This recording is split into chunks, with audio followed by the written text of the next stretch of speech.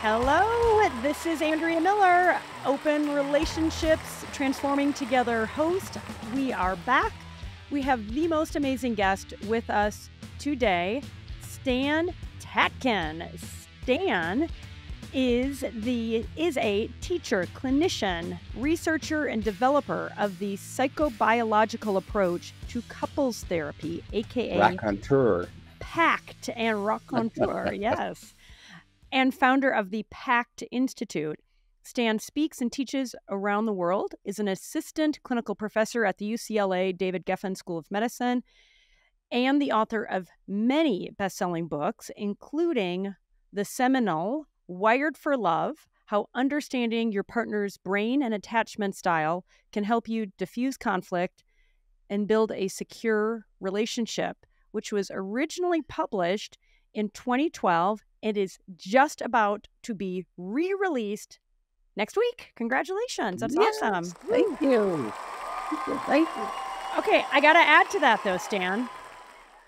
Gwyneth Paltrow has high praise for you invaluable for so many partners looking to reconnect and grow closer together. That's what she says about Wired for Love. And not to be outdone, the one and only Alanis Morissette says Stan Tatkin can be entirely followed into the towering infernos of our most painful relationship challenges. I just I wanted to ask when someone is in that towering inferno when they feel yeah. their partner just there was a movie about that yeah exactly. that that's gonna that's gonna follow this pod. No but in all seriousness when they feel their partner just doesn't understand them and that they're at the end of their rope i mean what do you recommend to them? Because uh, that's i mean lawyer? that we've all been there. Oh a lawyer? Well I, you know uh, uh oh boy. uh, uh, ended their ended their rope, and you know it, everything. Eh, you know this is this is about uh, partnership agreements, and if if you have a partner who is not a fair player and doesn't want to play fair and square, is uh, uh, you know someone who wants to do everything solo, and you didn't sign on for that, then and they're not willing to do anything other than that, then uh, there's really nothing to do except to say, love you, but, you know. But still, uh, there's this thing happening, and people are talking about a lot, like on TikTok, of so many women are so fed up with their husbands not participating in the family, not contributing, even just being emotionally shut down, and they they plan they say i'm going to leave i'm going to leave they might even say that for years and then as their bags are packed these husbands are surprised. And it, to, uh, what is happening with that? Like, how could that be? Because uh, we are naturally opportunistic. If we can, uh, you know, it's a good gig if you can get it, kind of thing. Uh, if I can get away with something, I'll do it. Uh, you might wish that we were higher character and better, and but no, uh, we learn that we can't do that because someone proves it. So, Is it conscious? You know, like, are they consciously like, she doesn't mean she's going to leave. She's not serious until they see the bags or get that contact with a lawyer? Or is it more subconscious? No, it's it's absolutely right out there.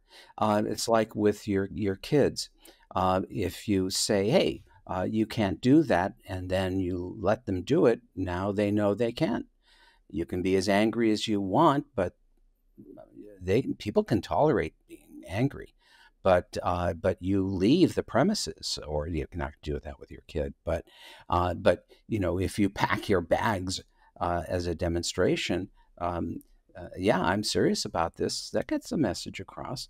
If your bags are empty and they're caught, uh, yeah, big trouble. But but let me ask you that: How often, in your many years of practice and um, you know, helping so many thousands of people, um, how often do you find that when they get to that point, the bags are actually packed? That it's not a head fake anymore.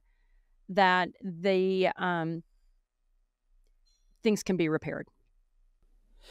Well, the uh, let's talk about attachment biology. So, attachment biology is the I can't quit you biology, right? It keeps us glued to each other for the most part, most of us.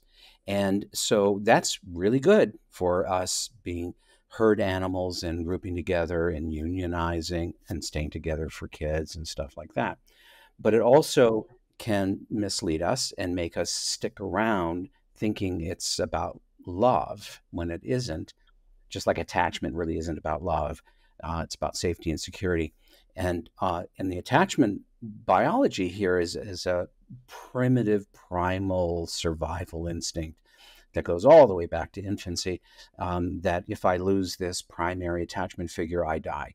And that's what it feels like, even though intellectually we know that's not true. But there's always that part of us that goes, why, why, why, why, right?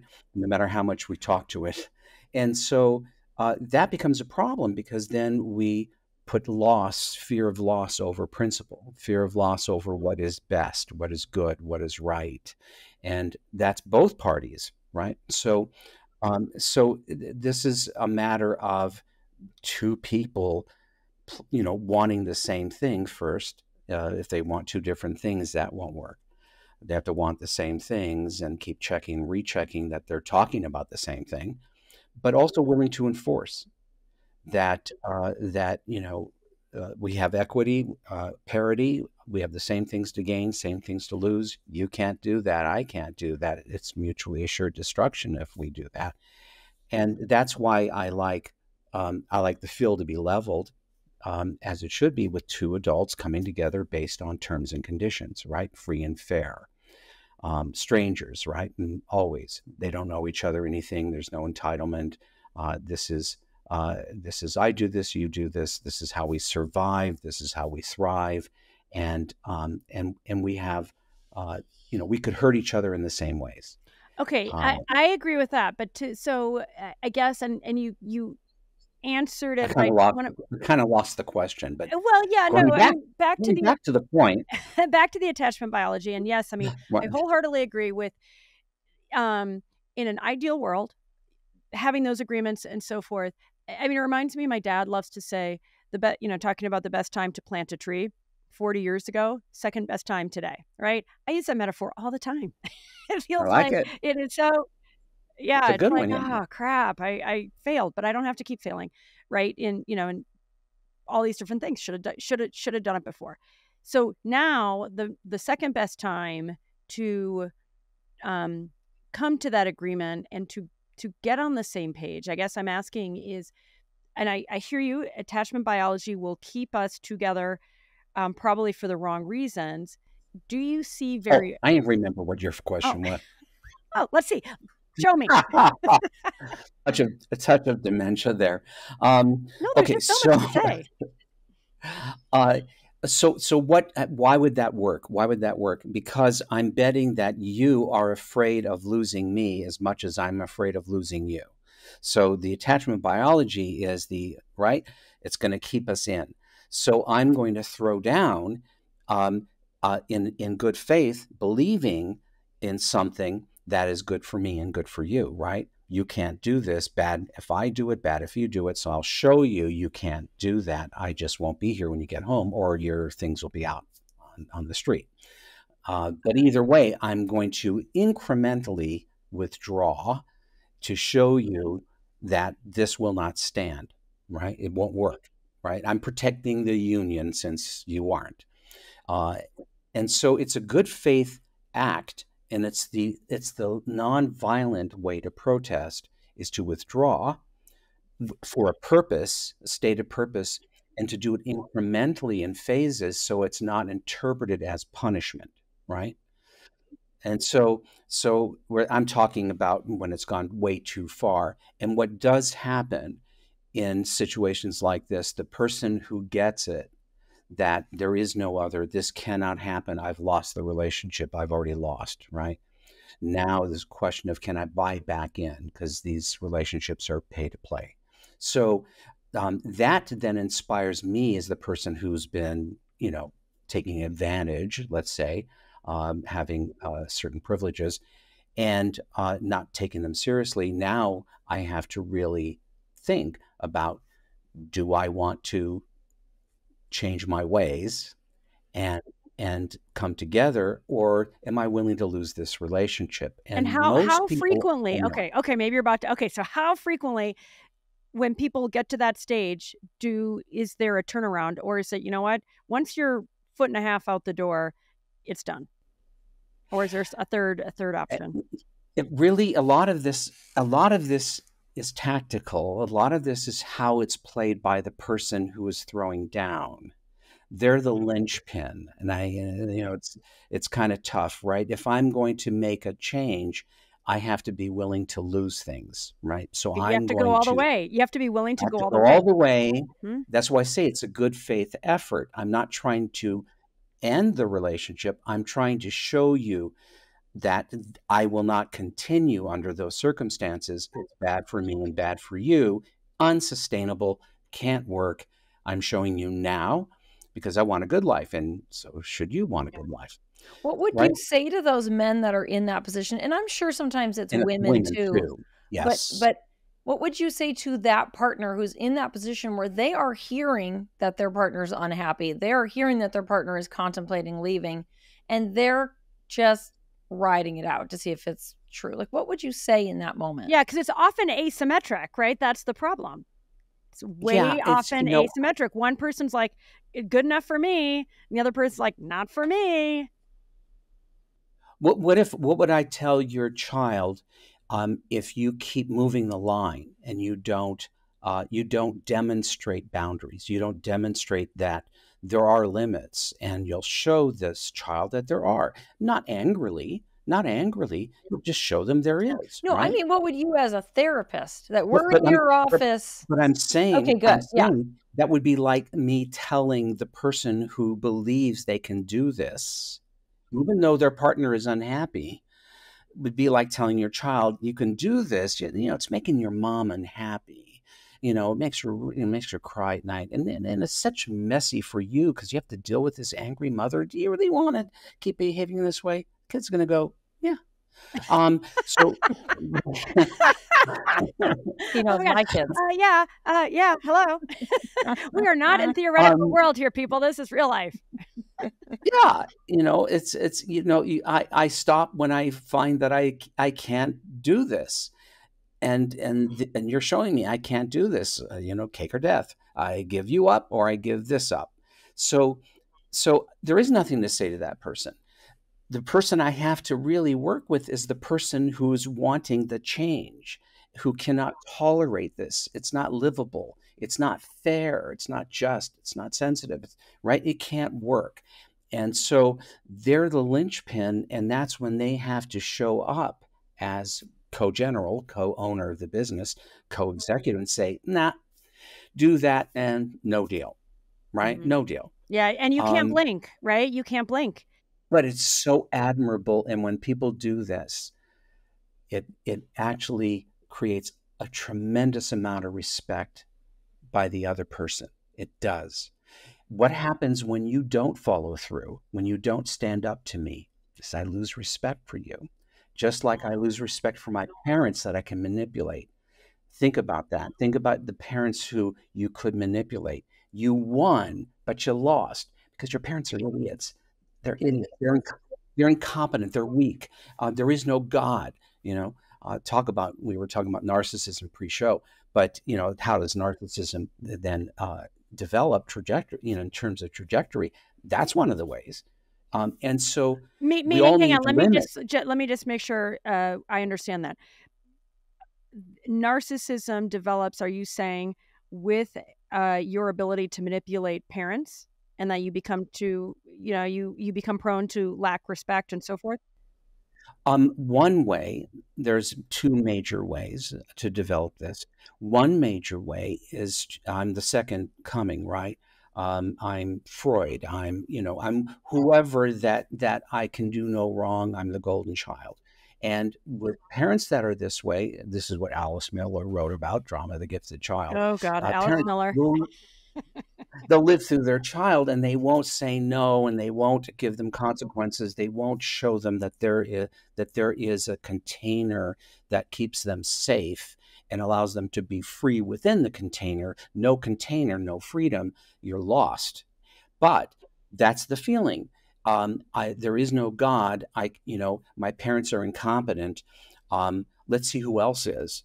And uh, and then I start to press the limits. I start to think I'm very powerful. I, I begin to think the rules don't apply to me. And so that's a natural outcome from this petri dish that is childhood, right? And the parents are are playing the role of society and and sh- and showing children you know in a friendly way what the unfriendly world is like so that we get along with other people right the other way, by the way, to develop this is to be it's to be yourself a narcissist as a parent and to be a very, very harsh parent. So your the parenting style is overly harsh. Uh, and that also consolidates a kind of narcissism well, that, as well. That whole business of the rules don't apply to me. No container means no freedom. How I mean, that's like scary stuff. How frequently do you see that? And I realize you're mo you I mean, and by the way, do you mostly I, I I feel like you mostly do couples, but do you also end up by virtue of um uh um helping couples, do you end up and seeing the whole I guess you'd see the whole family unit? You know, I don't do that anymore. I if I see the family, I divide them into couples. I divide them in, I, I divide them dyadically and that works actually better in my mean I'll I'll I'll divide uh, uh, father son father daughter um, uh, uh mother son mother daughter um, sister brother uh, you know I'll I'll divide and conquer um, because when you have a whole system together it operates as a system and is misleading and it's very hard because people will go right into their roles when you divide them and make them a couple just as you would do couples, you get a much more alive, unpredictable, and more phenomenological system here that you're working uh, with the relationship, this relationship, not all the relationships. Oh my God, hang right? on. I just, I, I, love this. And I just want to like marinate in this a little bit because, I, you know, I just, that approach sounds so refreshing and new. And maybe you've been doing it for a long time but it, it really it's so interesting you know t- for you to talk about how if you're doing it in the whole system then it's in the roles eh, you know everybody ends up staying um, calcified in their roles versus your uh, breaking down that that unit that family unit into smaller bits yeah it is it's like a whole reframing which and to is... talk about the roles and correct me if i'm wrong stan i'm thinking of things like the golden child and the scapegoat so if you've got that kind of function in your family, if you have, let's say, all four members of the family there, that golden child isn't going to be able to be authentic because they will be goldening, and that scapegoat will be scapegoating. Yeah.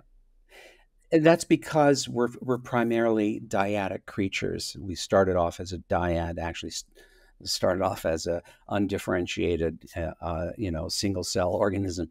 But you know, uh, we we begin to through this mitotic process psychologically, we begin to become dyadically focused with a primary, and then we go and then we expand to uh, to thirds and fourths and so on.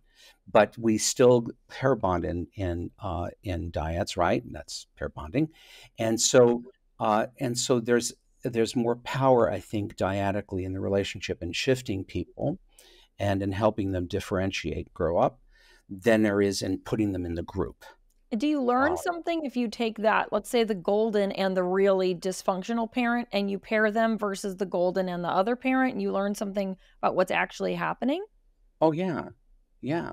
And, and by the way, I'm saying the child should be of age, uh, old enough to be able to to think and to be able to uh, is psychologically awake and able to stand on their own and so on. We're not talking about very young children. So, but teenagers, uh, basically. And so, yeah, uh, it's a whole different dynamic and much easier to to also get people into the office because hard to get you know eight people into an office at the same time, especially if they're around the world. And so, uh, it's so easier to manage, and it doesn't take very long because you're working in an intensely dyadic way um, to sort of square things and uh, and uh, and also reframe things, uh, so that that is how we start to be able to grow out of that system. Uh, we're still influenced by it, but we're not. You know, the system doesn't change. We have to, and that's usually done in individual therapy. So, what is that? That's a dyadic situation. So, so uh, I think you know breaking them into dyads works better and faster in my experience oh, that's than seeing the whole family. That is so interesting and refreshing, and feels like such a um, just a, a novel, compelling way to, um, you know, to to help. So, I mean, thanks for that. Okay, I just want to rewind for a moment though. Going back to you know one partner is has a foot out the door bags are are actually packed. They're not they're not um uh, decoy bags you know that are empty. Um i was chatting with harville hendrix the other day our mutual friend harville whom we love yes, and i know love him. And he was talking about you know of course we are talking about relationships and he was talking about he stopped me in my tracks. He was talking about how we co-create all of our relationships which I do fundamentally believe in, but that is also at odds with, I think it's at odds, this idea that you're in a relationship and you're at the end of your rope and it's you you're sure it's all about the other person. And then Harville says not so fast. You're co-creating every relationship what do you do Stan do you unpack no your bags angel. I mean what do you do is it no a- angel no angels, no devils. Uh, where there's one in couples, there's always the other. Uh, anybody who's been doing this knows this. Um, and so, yeah, it can't. It, this is a system. Um, these are people that picked each other based on recognition and familiarity. It's not an accident. And so it looks like a duck, but it isn't. Um, and that's what we have to be aware of is to look both directions, right? Uh, like when you cross the street. However, having said that, that also pertains to making the relationship right itself. It takes at least one person to stand up for something that they believe is the best thing, the right thing, good thing to do, um, and they're willing they're willing to risk the relationship over that. We're not talking about what color to paint the wall. I'm not going to pack my bags over that. That would be that would be diagnostic of something else, right? Um, uh, we're talking about a serious matter that is a deal breaker. A deal breaker cannot happen. Quality of life goes way down, and um, and you should keep your eyes open at night because this is too unfair.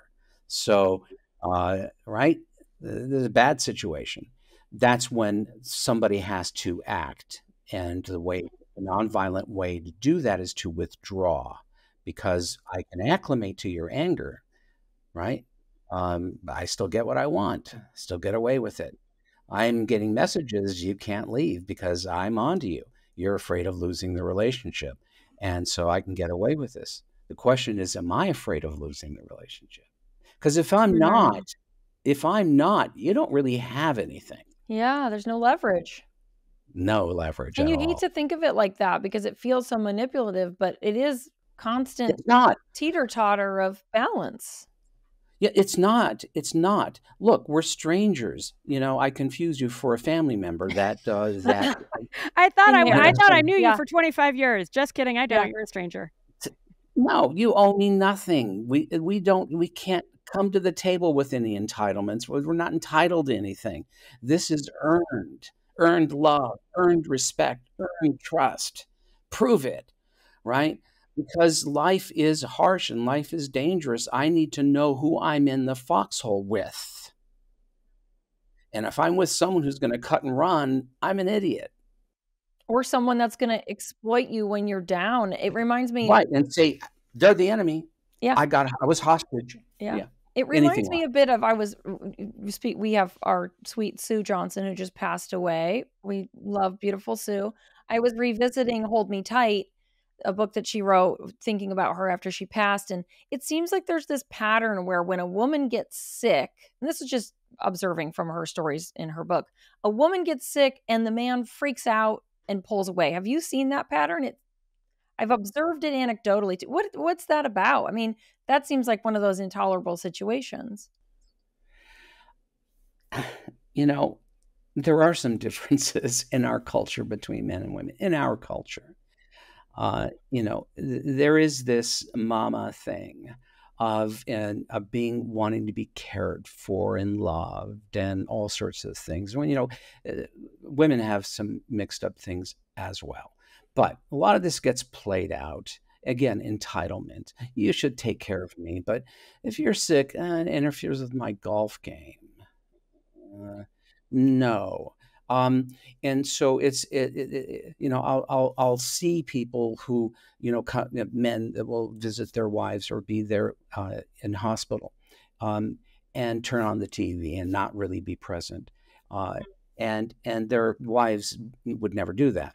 And, and I'll say, you know, do you think your do you think your wife loves to come to the hospital and be with you and while you're sick and pay attention to you? Do you think that's really the that that you know if it's a choice between going to the movies or being with a girlfriend or going for a trip and uh, now i'd like to go to my i'd like to cut off everything and go to the hospital and sit by my ailing husband. No.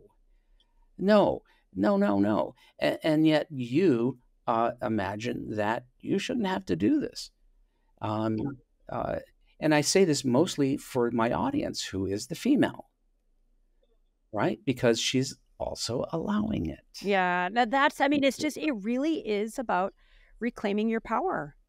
And when you're not. Some people never, never, some people never had it or never claimed it. Um, and, and male and female, and they want it given to them, and that's just not how it works. Oh, I love that, Stan. That I, that to me, I just have to say it. Power is never given; it's always taken. I mean, and that that to me is it's like ooh, and I feel like especially a lot of young women need to hear that, right? Because that is it it can only come from within and I've certainly experienced that as, you know, now a woman in my middle age and feeling frustrated at times. It's like, "Oh, why why aren't more people doing things for me or recognizing me and so forth?" And it's just like, "No, that that comes from within." Um uh Joanna, go ahead with your question. Then I, I have uh, something that I want to go on to next with. Oh yeah, Stan. I was gonna say. I wonder also with men if there's a thing about fear because, and I'll tell you a quick little story.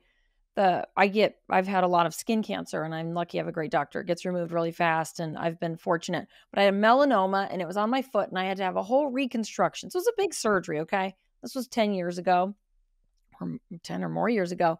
And I have this amazing husband. Everyone who knows him, he's so kind, he's so present there was something about it that he just he couldn't he couldn't engage with it he couldn't feel bad for me he didn't want to drive me to the doctor and it's so unusual because if i was like i need to be driven to the farmers market to buy oranges he'd drop everything right but then i needed real surgery and it was like he was grumpy he was uh, rude and not present and he still i mean he feels badly he wouldn't do that now he still can't really explain why, but in my heart, I have felt like he doesn't know how to deal with fear and he was afraid.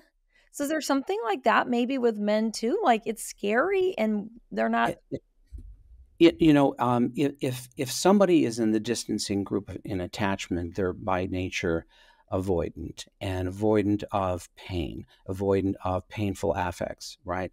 Um, uh, they develop uh, an executive function that that conspires to avoid pain, right? Uh, that's a good thing, um, and and only seek pleasure or happiness, um, and that's not a that's not a good way to live uh, because you can't be that happy if you can't feel pain, and also it's it's not it's pro self, it's not pro social. Uh, it can't work in relationships, right? So it could be that this is something that does scare him and could lose you, the big C, cancer. Um, he doesn't like to see his uh, partner, his sweetheart, being cut up, um, you know, and um, and and so it could be that I don't know him. Does did he ever have anybody who died? Uh, he had to, uh, right, suffered Yeah, loss. yeah. His Apparent- mother had died of cancer not long before that. Oh God. So- well, there you That before go. seems obvious, right? Yeah, there you go. Right. And and so but here's what I'm going to say about that. In in in this world with couples, the way I view it, and you know, not as an individual therapist, but as a couple uh, therapist, uh, it ultimately doesn't matter why you do what you do. If it's if it is bad for the union, you can't do it. If it is bad for if it's going to cause a disruption in uh, in the field, right? you can't do it because it's self harming. It's self harming. We're connected. Whatever I do to you happens to me. So I, you know, I can't just, you know, separate myself from you. We're interdependent. And so all I had, all I can do is make sure that I serve you and you serve me. Otherwise, we're going to fight. So in the attachment world, there are big, big ticket items that everyone needs to pay attention to birthdays not so much maybe somebody has a particular thing about a birthday but the one that's ubiquitous is pain and fear so if I, if if you are afraid or in pain i better be there and i better be effective if you go to the hospital and you're terrified i better be there and be supportive if your father parent is loved one dies and you're going to the funeral, I better be there. If you're going to celebrate, you're getting an award, I better be there because these things are remembered and they're held as big, high weighted misses in the attachment world. They carry a lot of weight and people screw this up. Um, and so you should know, even if your partner says, Hey, you don't need to join me to the hospital. I know you're busy. Just go to work. I'll be fine. Mm-hmm. Don't listen to them. You Show go. up. Yeah, for the the big yeah, those nonsense. Yeah. I have a on visual of like a map of the world, but it's a map of your life together, and it's like a those little push pins in those events, and we need to be there together for that. I love that.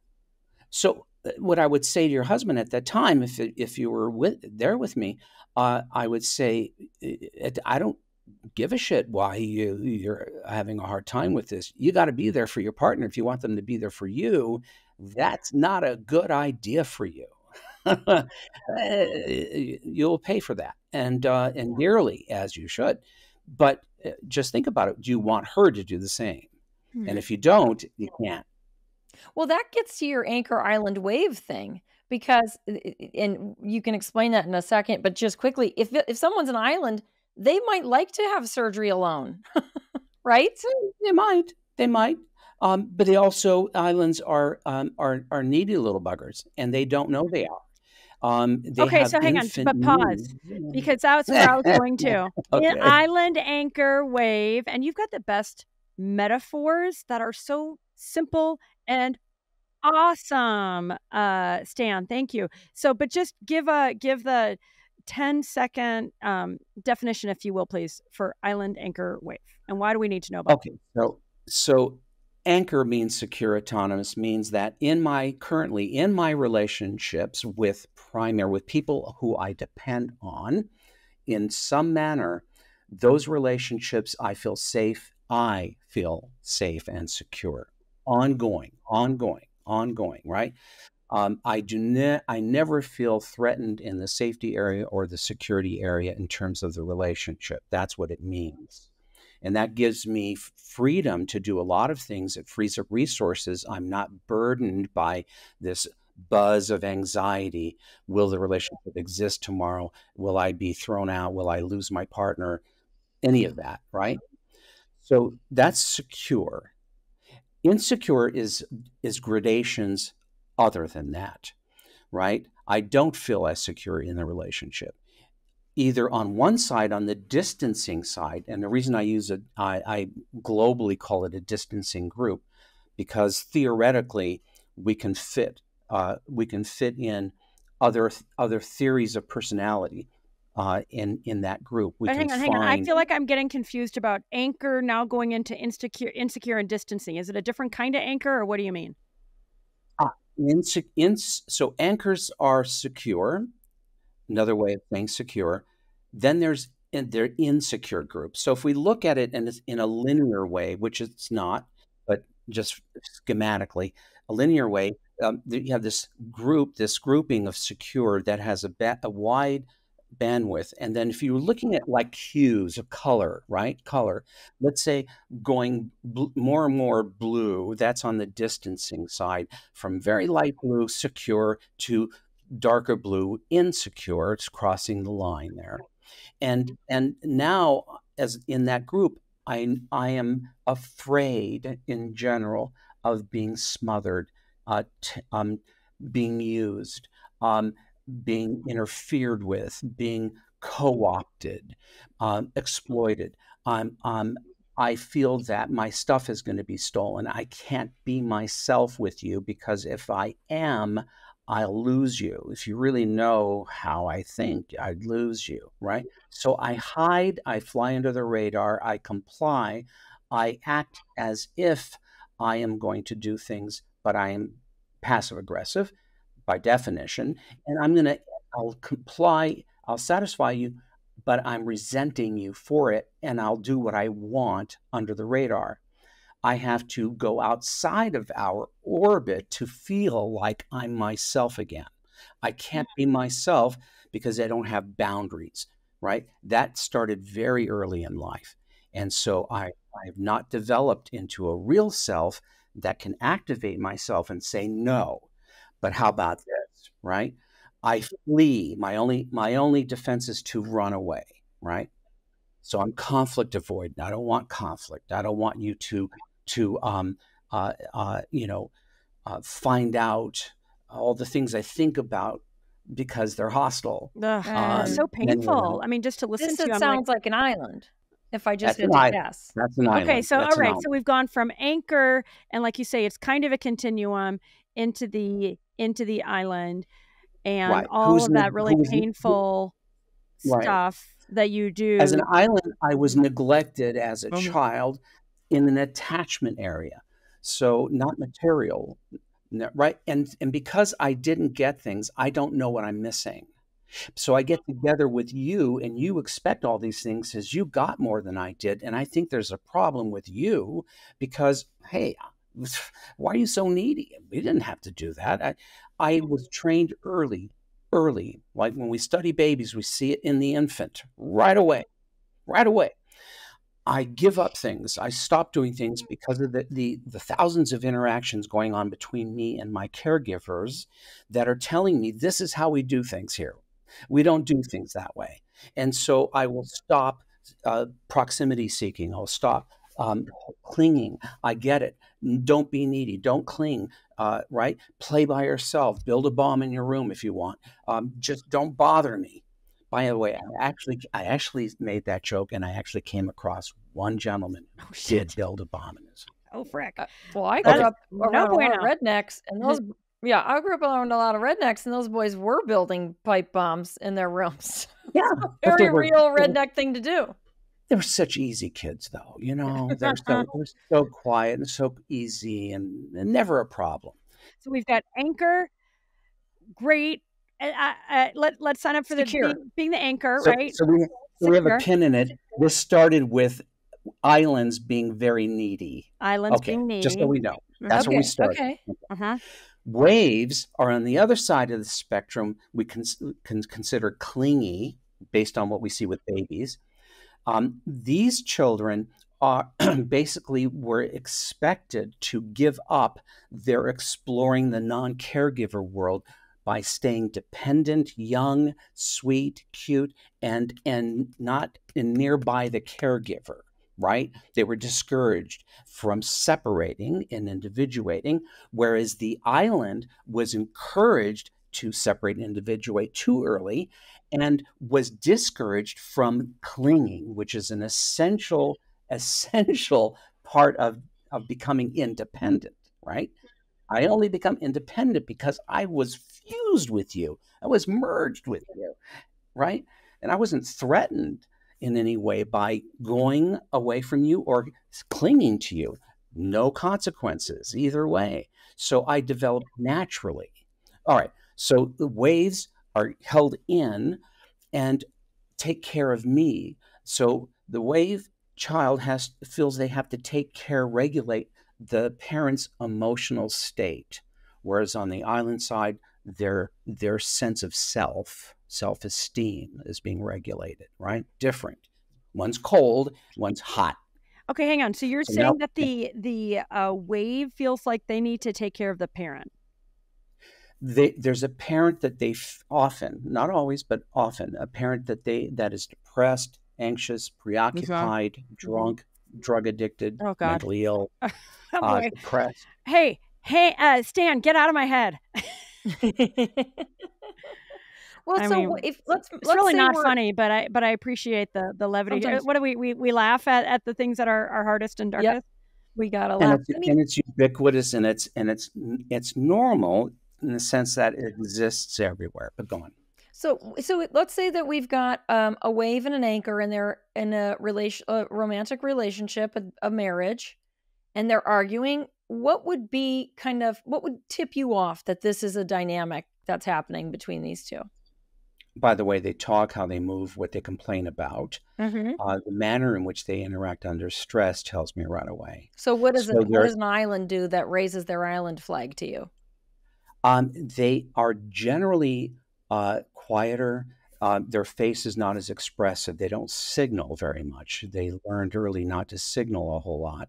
They keep their cards close to their chest. They're very careful about what they say. They'll start to slow down when asking to explain themselves or how they really feel because anything I say can and will get me into trouble. See, um, so I have secrets. Um, I, I tend to um, act compliant. I want to be a good patient so I can get out of here. I last thing I want is you to turn your attention towards me. So anything you want me to do, I'll do because I'm with this. This is really great. Or I'm the opposite. I think you're. Uh, I think this is a colossal waste of my time. I think you're a charlatan. I think this doesn't exist. I think I I'm happy if my partner's happy. The only reason I'm here is because they're not happy. I'm So fine. it's usually a wave that brings the couple to you. so so it, it rather than rather than make it these extremes there there's there's all in between all in between and so it, it could be a secure individual that's picked somebody who's too distancing or too clinging right um, but usually once they're in a relationship the system starts reacting to itself and we have another problem and that is that they're amplifying because they're threatening each other they're amplifying each other's fears and memory systems because insecure attachment is a memory or set of memories that that come up when I depend on you. I start to remember what happens when I depend on a person. I know I'm going to be abandoned. I know I'm going to be withdrawn from. I know you're going to stop loving me. I know you're going to uh, uh, right, and I'm going to test you, test you, test you, test you, test you all the time because I I I can't I can't activate myself to grab what I want. I have to wait for it to come to me, which makes me a very angry person if I'm a wave. Or I know I'm going to be smothered. I know I'm going to have my freedom taken from me. I know I'm going to have to, you know, take care of this person who seems now too needy. Um, right? It's I'm with somebody irrational. You know, so all of these fears come up as defenses, and and those defenses definitely look threatening to another person, whether they're whether an uh, Anchor Island dog or cat doesn't matter. Threatening that that compels the other person to respond in kind to the defense as threatening, which amplifies the other person's feeling I was right. This is going to happen, right? And they start to amplify each other uh, because they don't know any better. They don't understand. It becomes Right. self fulfilling and other Yes. fulfilling. Yes, because people are are you know most of us are just human. We're not paid to do this job. We're not paid to to understand who we're with. We just think they're dangerous. They're unreasonable, right? So that's why most relationships will fail over time because of this thing. Um, we're not very good at um, most of us at being so uh, socially, emotionally intelligent and developed as to be able to operate in a two person system of cooperation and collaboration, right? So, is there one thing, since we got to wrap up, is there one No, thing? I know we started. started. I know. Well, you're going to come back. We we want you back again and again. Please say yes. Um, we talked. We talked about at the beginning, uh, getting to the end of your rope. How, is there one thing? If if it was like if everybody listening and watching could just do one thing to prevent getting to the end of your rope, is there one thing? And I know it's not a silver bullet. By the way, just to be fair, it doesn't fix everything. But is there just like a hack that you're like, you know what? I like your chances if you're willing just to do this one thing. And maybe you're like, listen, there's just not one thing, Andrea. You're you're asking the wrong question.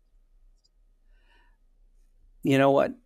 There is no hack for that because by that time, hacks were would have been good earlier. No, earlier. no, I'm But by, talking not if you're at the end of your rope. I'm saying for people that are kind of, oh, I you know, thought you said if you're at the end of your Yeah, rope, yeah. Yeah, not if you're at the, you know, like we're we're yeah. So let me rewind.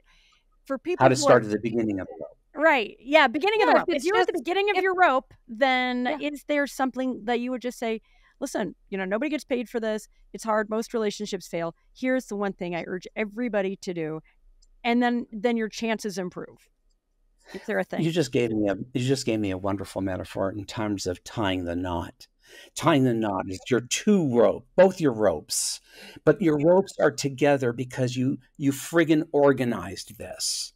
You didn't just assume you were on the same page. You didn't assume that you were um, that you in visual that you visualized the same idea, right? You didn't do that. You actually you actually talked about why are we, not just what are we, but also why are we. It cannot be about love. It cannot be about anything emotional. It has to be about purpose. What purpose do we serve? What are we going to do for each other that is going to be so impressive, so wonderful, because the world will never do it, that we will do this because we agree, right? The bar is set higher than the average Okay, so just so right? give me one example, you know, whether it's in your life or or you Yeah. know, a client or so forth, you know, a young couple, they're, you know, they're still in bliss. What would that purpose look like? Because I think a lot of people listening to this like, I don't even know what he's talking about now. Like I thought the whole point was love. So if it's not love and it's must be about purpose, then what would an agree like one line agreement look like? Our relationship comes first, above and beyond everyone and everything, because everyone and everything depends on us being in good shape, happy, happy. We're the leaders, we're the b- big bosses, we're in charge of everyone, kids included. If we aren't good, nothing is. Every everything else uh, suffers. Yeah. Yes. And if And you if you make it about romance and love, then the moment the romance fizzles, you lose your mission. lose my mission because I'm I'm I, we're we're actually planning for our devils, not our angels, because I may not like you uh, this particular day, but am I going to do what I said because that was the best thing we we decided to do?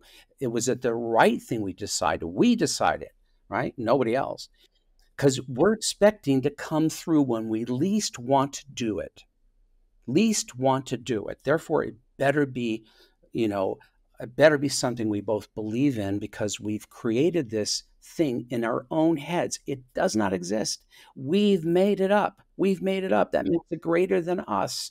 Well, let's protect that idea Which and is let's not screw it up. Yeah, which is, I mean, I'm going to say this because I love you. It's radical and it's obvious, but so few people do it. Right? I mean, that's the point that I feel like it's like having being that intentional. To me, it's like, hello, why doesn't everybody do that? I mean, I'm not It- asking you to answer that, but I do It love blows that. my mind because Only two things that Stan has told you and me, Andrea, in the past too is it can't be about having kids together because then you can't complain when the sex and romance is gone. And what happens when they grow up? Bye and it can't be about romance and sexual attraction because that is never going to be consistently there every single day over No, 40, 50 can't be. years. And Can't those be. it is revolutionary because I know when I 20 years ago when I made that commitment, I definitely was thinking romance. I'm going to be in love forever. And it's like it's not realistic. You can agree on a principle that we do romantic things for each other throughout every day. We do it, right? That could give rise to feeling romantic, right? Because of what you're going to do. So it's about social contracts. Only in couples do we not make social contracts. You would never do that if you were joining a dance troupe, a rock and roll band that was serious. You wouldn't, you start a business that, hey, um, Andrew, I just fell in love with you. Let's start a business. Yeah, right. No, nobody does that, right? Ding dongs do that. Nobody's smart. Yeah, Yeah, Nobody no, does that. No, I got Yeah. you. That's why it's radical and obvious, Stan. Like props for that. Okay, we got to wrap up.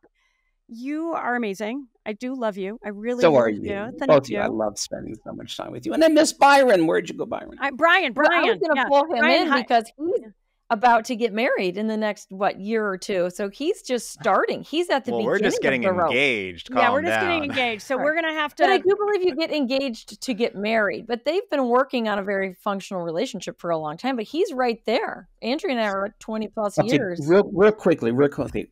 Byron, you said so you, you used Brian, the qualifier. Brian. Brian. By, yes. Byron, Byron. Brian! Brian, um, Brian. Brian. Brian. Oh my God, it's my dyslexia. It's the O. It happens messes all the everyone time. up. That's Dyslexia I it's the L didn't know I Y. had. Okay, Brian. um, use the qualifier. We're getting engaged. Are you engaged or, or are you not? Um, here, I'll I'll give you a little spoiler because I know um she doesn't watch the show. That's a deflection. Oh, hey. And we are seeing we are seeing a gorgeous ring here, people. For you who Oh, wow, that see is it, who are not watching this, you're seeing a gorgeous Oh ring my God. and a man who is so delighted because he picked out the perfect ring. It is bliss on his face. Good job, Brian. Yes, we no, we no, no, went from bliss to a little bit of fear. I'm looking at his face. right now. no no no no. Uh, Um, a little fear there. Um, no, okay. we're very excited. congratulations. Thank you, So thank you- you. Oh, that you're you're a, a great guy. You really are. shut- And they're doing it like millennials where they've discussed it, they've made plans together. It's not a huge surprise where she might say no. Uh, and it, that to me seems so healthy, you know? Like yeah. they're on the same page. she's she's a little bit on the older end of Gen Z, and um, but no, she makes jokes all the time, like, "Wow, my my hand is feeling really light," like, uh, Oh, that's cute. and that's cute. um, You should But give yeah, her, no- you should have as a joke. Give her like a really like a lead a yeah, lead like, ring. a ring pop, yeah, yeah.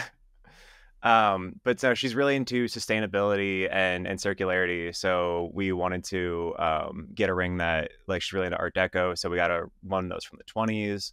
And wanted to to basically like keep one in circulation instead of putting a new one out That's there. so, cool, Brian. And I- you- I, guess, I, I- guess, because I am a romantic.